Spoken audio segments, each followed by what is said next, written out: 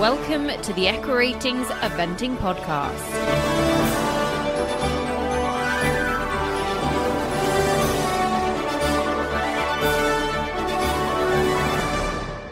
Welcome to the EquiRatings Eventing Podcast and a cup of tea with none other than a man who is number five in the FEI World Rider Rankings.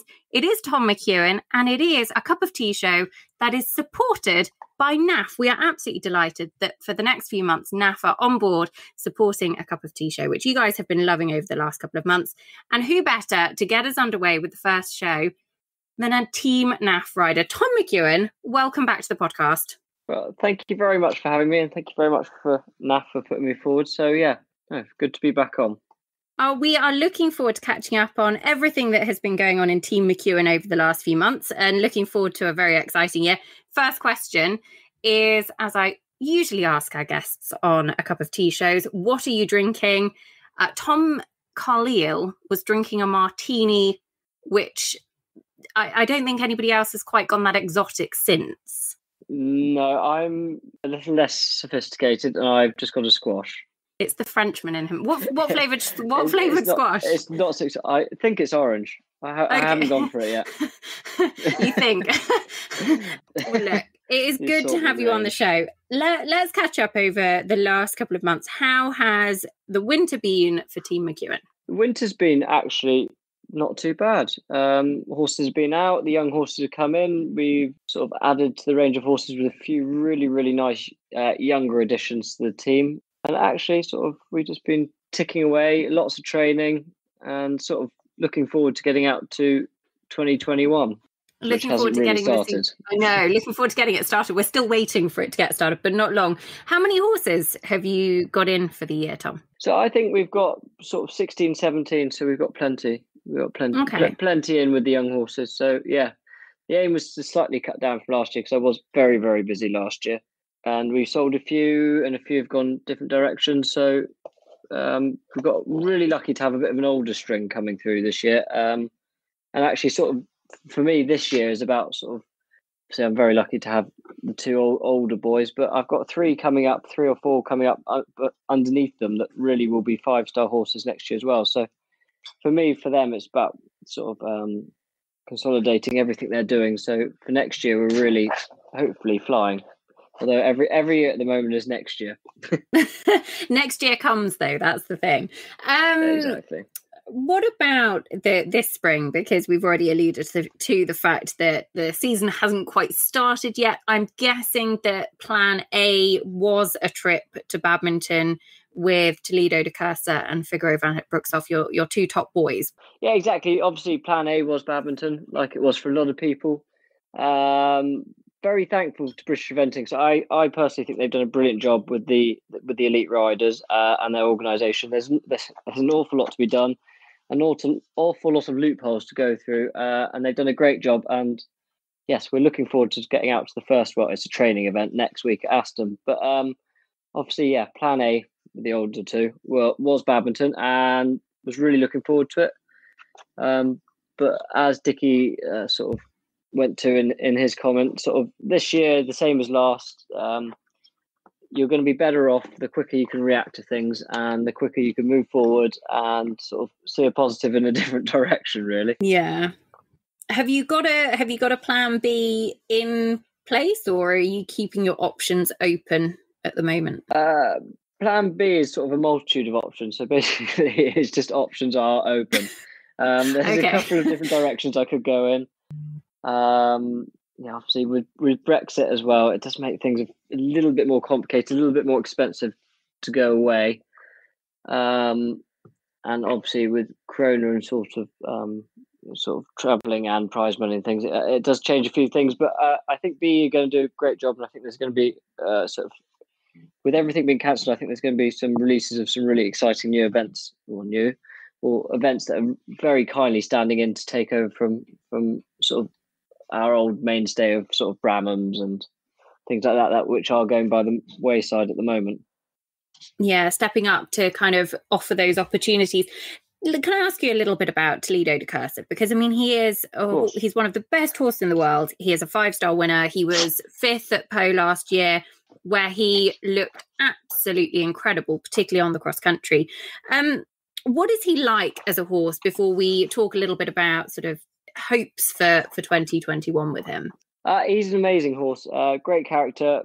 Really, he's an absolute, absolute sportsman, really, if you can define it. Um, he likes his work at home, but he loves his shows more, and he prefers his shows to be with less horses and a lot of people. um, so COVID's no good for him. Uh, but no, realistically, he's um, he's I think he's 14 years now, 14 years old this year.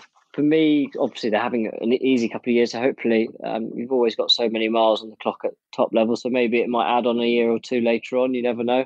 And for me, he's an out and out jumper. Last year, he was phenomenal around Pau. Uh, our preparation wasn't the best because where we kept going to, where, where we kept going to, where we were going to, sort of with our prep plans didn't quite pay off, and there was a lot of changing and moving going on. He was he was just a bit fresh when we got to Pau, and sort of. I think I was ready to go and do a dressage test after Sunday. Really, um, feeling very well and fine, which is no bad thing. But realistically, how many sort of clears he's jumped? Show jumping now, his speed with his cross country, which has really developed. Uh, the dressage, which is coming on and on and on, yeah, really, he's, he's just he's been a phenomenal horse. It's been a, a, a long process that I think we take our time, which I think is completely correct thing to do, and I wouldn't change anything if I started again. Really, That was a really really good thing to kind of be able to look back and go, do you know what? Actually, we've we've done it the right way, and we've got to this point now where hopefully you've got exciting years ahead, not only with Tokyo but with top five stars as well.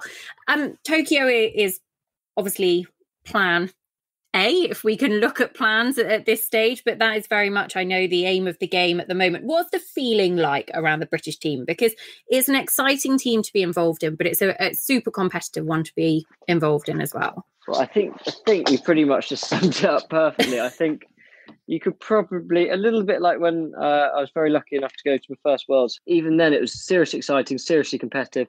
I think possibly without the big three days this year, there'll be a surplus of horses as well, uh, which is great news for the selectors, whether it's good or not. You hear about these football teams and all the injuries they're having because of the Premier League teams having to play all the time. We're actually going the opposite. The horses aren't playing all the time. They're, they're training at home, which is um, they all know what they're doing. All the horses from many amazing different riders, and yeah, they're going to have a huge squad to select from. Really, of a mighty fine team, really. So actually, looking forward to Tokyo. If you can get yourself to be one of the team members, I mean, it's going to be very exciting, really. It absolutely is. It's going to be exciting to see who makes the cut north because of the team of three aspect, traveling reserve, all of that kind of thing. Do you really enjoy the sort of the team environment? I absolutely love it. Um, it's completely different. Sort of, I know it sounds very sad, but when sort of my favourite days when I was younger was playing sort of rugby and sports at school, which was always a team environment. So for me, I love going back to a team again. Um, it's not just about you. There's many other factors. Uh, I like sort of. I know eventing is is different to many other individual sports because it's you're never really that individual. And if you want to ask for help, there's always someone willing to put their hand out to give you give you a hand somewhere. So you're never completely by yourself, but actually going as a, as a, as a group with a sort of support group around you and a multitude of people all willing each other to go on as well as one another is, is quite special and it doesn't happen yeah you get to do it once a year if you're lucky yeah and then olympics i guess adds that extra little frisson of something even more special exactly um, it'd be about the only things that sort of sort of most of my friends and things would understand from olympics from what i've been doing and why, why i haven't been around on so many occasions, especially when I was younger, when you're sort of um, spending all your time with the horses. So it would actually give them a bit of an understanding that actually all the hours and time that everyone puts in on the yard and everything is, is sort of worthwhile. It's a it's a wider meaning to more people than just our Badminton and Burghleys, which I know a lot of people in the surrounding areas love going to, but actually it sort of puts you on those pedestals, even with the likes of sort of Usain Bolt, all those people that people sort of really look up to and understand and know, and actually idols. You're sort of on the same platform, whether you're you're in a, the equestrian eventing or whatever else you might be doing, archery or anything really. It's um yeah, a time to shine on a, a main platform.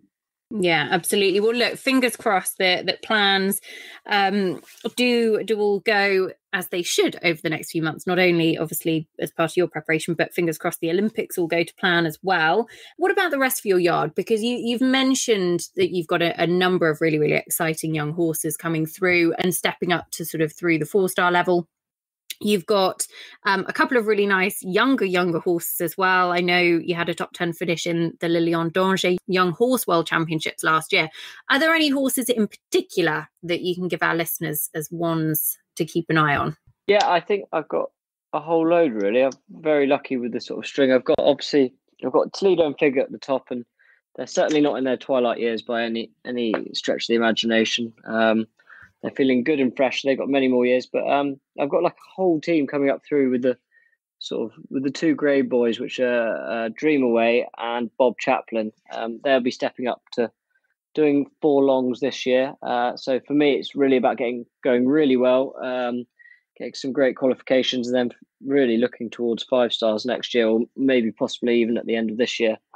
Um, they're two really exciting horses. Uh, it's taken me a bit of time to get to know Bob Chaplin. I've had Dream Away for a little longer, and he's sort of um, he's had some amazing results with the intermediate championships and second at Blenheim what two years ago. Um, he's a very exciting horse, but I think Bob Chaplin's really sort of we've got a bit more of an understanding together. So I think that's that that that is super exciting. Uh, I've had CHF Coolizer, another horse that's won the intermediate championship. She's sort of looking to go five star this year. Uh, and then from the younger side, like you say, I had um, MHS Brown Jack that went to Lion last year in the six year olds. It's something that I don't tend to do is take six year olds to Lion because I think it's too much. Obviously, there was no spectators last year, which was sort of a huge factor in that, and it sort of does change the competition completely. But I think he would have coped with that very well. He's a big horse, uh, and I probably didn't give him as good a ride as I could have done on Sunday. Um, and had a couple of rails down, and that is definitely something we need to work on a little bit. But um, it'd be super exciting to go back again next year and uh, next year, this year for the seven-year-olds, and it'd be something definitely I'll be aiming towards. Below that, I've got another French horse, which uh, it's called Flays de Riveland, who's coming out for the first time this year. Um, she's from the same place where Toledo came from, so that'll be super exciting to see how she gets on. Really, okay. Now attacking me. What kind of what kind of dog is it? Just while we're we're on uh, the it's topic. Labrador. She's a puppy. And, oh, yeah, that's totally. She's been biting my feet for the majority, and now she's biting my hand, and then she managed to take my face. So yes, a few distractions going on. That's all right. It's all good training. All good training. Um, can I obviously just touch upon sort of a, a, few of those horses you've mentioned. Bob Chaplin, who was actually runner up as a six year old in Le Lion with Paul Tapner a yes. few years ago, then had a bit of time off. But he's he's a horse that you've sort of taken on in the last 12 months or so, would it be? Or is it even a little bit longer than that? I actually can't remember. With last year being the way it was, I can't actually remember. I think I had him for the second half of the year two years ago, and then I had him last season and then this season. Um, we had a nice result at Burnham Market in the eight and nine year olds, um, and he went really well. And obviously, we had a lot of plans, but then sort of things slowly sort of uh, wilted, wilted away towards the end of the year. Um, so we had a few um, European plans, but yeah, they went by the wayside, which which no bad thing. And then we've kept him in training, and he's just taken me a little little bit of time to get to know really he's incredible on the flat, and I think I've expected great things that he should be going around like Valegro on the flat and sort of jumping like Milton show jumping because these are all things on top you feel that he should be able to do, and it's just taken us a little bit of time to get to know, and for him, I think, just to let me in a little bit. He's a he's a funny character, and he's got a lot of draft in him, and he definitely behaves like him. Okay.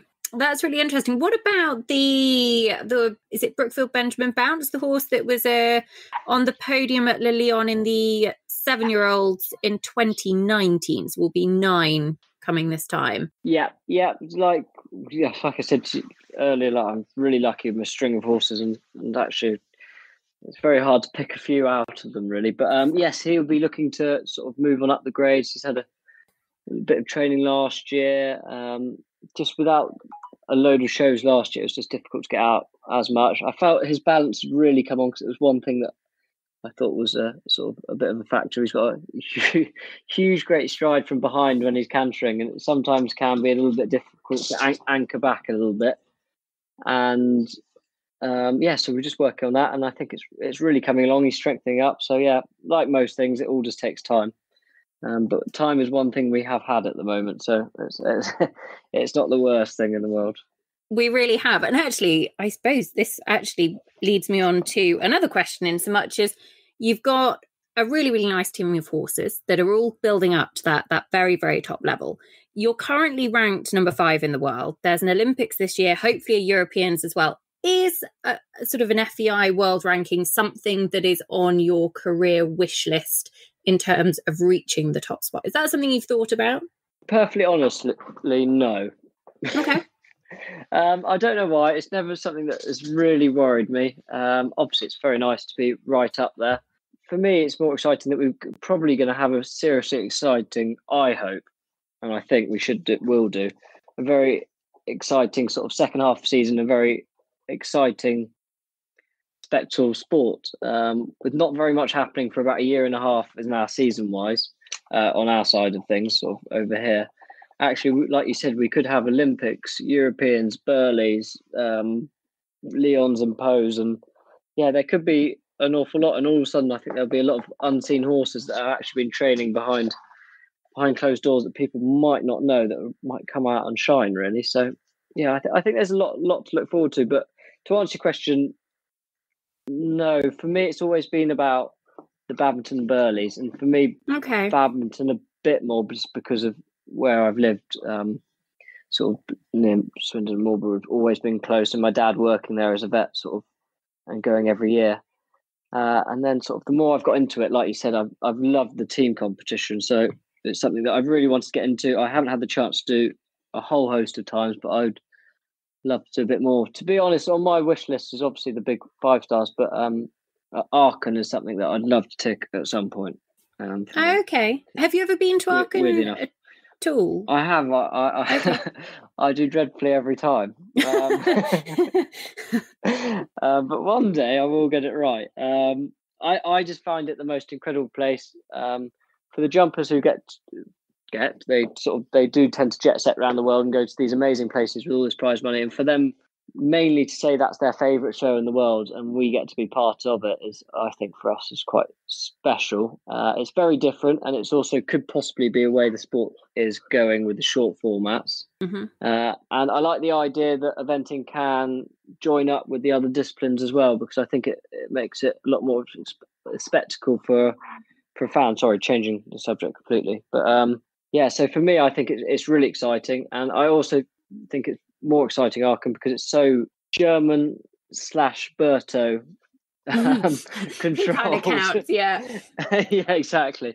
So between all the Germans and Burto, it's quite controlled by them. So actually, to go out there and for me, they're all the, be- the best in the world. So to want to be able to go over there and be competitive, for me, it would be something that I'd love to tick off the list because I don't think it's been done by so many Brits. It's probably, like you said, not on many people's wish list, but no, no, no. It actually is on a lot of people's wish list, and and a lot of people that have been uh, or that haven't been sort of say I'd really love to go, and that do go say it's literally one of the best events in the world. I'm frantically racking my brains trying to think if we have had an Aachen British winner, and uh, I'm going back to Zara. Yeah, yeah, in 2006. I can't think of another one. Um, the Germans have seriously dominated it, and as you say, Chris Burton as well has won it a couple of times. But um, that's really, really interesting, though, and I have absolutely no doubt that the team of horses that you're building will certainly stand you in good stead there for the next couple of years,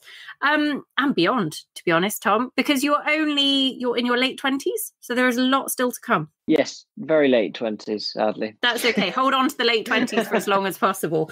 Um, I lost my late twenties last year, but lockdown birthdays don't count, so I'm still in denial.